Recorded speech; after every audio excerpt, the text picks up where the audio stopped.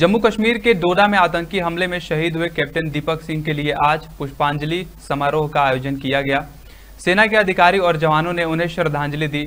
स्वतंत्रता दिवस के एक दिन पहले, यानी 14 अगस्त को, जम्मू में आतंकी मुठभेड़ हुई। सर्च ऑपरेशन के दौरान जंगल में छिपे चार आतंकियों ने जवानों पर फायरिंग कर दी। इसमें 48 राष्ट्रीय राइफल के कैप्टन दीपक सिंह गंभीर रूप से घायल हो गए। बाद में अस्पताल में उन्हें, उन्होंने दम तोड़ दिया।